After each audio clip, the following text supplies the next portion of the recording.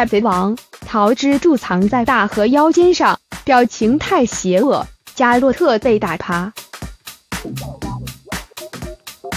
海贼王一千零六话情报图已经更新了，这一话的内容很精彩，宴会厅的战斗非常激烈，特别是小马哥大战两位三灾，还有花之豹五郎恢复到巅峰状态，一刀秒了四名武士。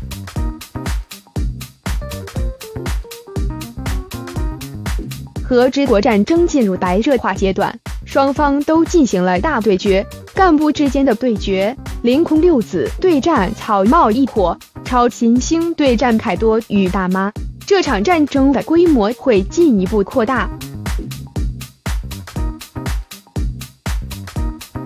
最新一话的标题是“侠客花之道五郎”，鲍大叔的表现很出色，令人佩服。内容承接上一话，大和、桃之助、小忍等人被凯多的部下发现了，他们离开这里。大和为了保护桃之助，让桃之助躲在衣服了。大和真的不嫌弃桃之助，不过衣服太小了，无法让桃之助躲在里面。桃之助躲在哪里？大家是不是有这样的疑问？原来桃之助躲在大河的腰上，他抱住大河，这样大河才能更好保护桃之助，也方便战斗。桃之助是第一次抱住大河，他的表情太邪恶了，就像当初占娜美罗宾便宜的表情。大河也是一位美女。桃之助抱住大河，肯定是动了歪心思。百兽海贼团的人不断攻击大河，他们的目标就是要杀了桃之助。大河太无心了，让他们杀了桃之助不就好了？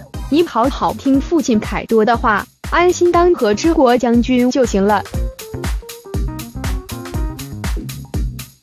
大河这个叛逆少女。居然要颠覆自己父亲为他打下的江山，太无脑了！还要为桃之助而战死。桃之助这个邪恶表情，还是那句话，谁当海贼王都无所谓，桃之助必须死。加洛特与大妈长子的战斗终于分出胜负了。加洛特和一位笑露姐姐去杀大妈的长子佩罗斯佩罗。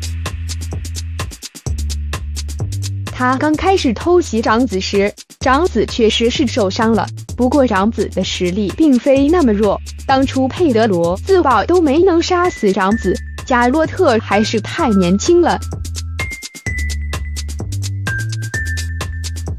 加洛特就躺在地上，身受重伤，看着十分可怜。他要为佩德罗报仇，不过他的实力太弱了，难道没有变成月氏状态吗？月氏状态应该能够击败长子，小鹿姐姐也不见踪影。山氏居然没有感受到加洛特被打伤，他逃离黑玛利亚的魔爪后，陷入了选择困难症，不知道是去救赤霄九侠，还是去救桃之助。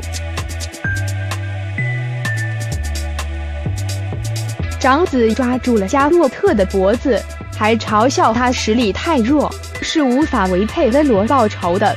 长子把加洛特摔在地上，加洛特已经没有力气对战长子。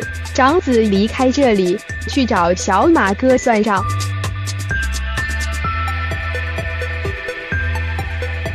长子也看到了小马哥对战岩灾进和一灾奎因，他有可能加入战斗，帮岩灾进一起对付小马哥。海贼王最新一话中。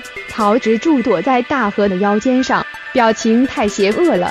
加洛特被大妈长子击败，十分可怜。不死鸟马尔科大战岩灾进与异灾奎因，最强黄腹实锤。对此大家有什么看法？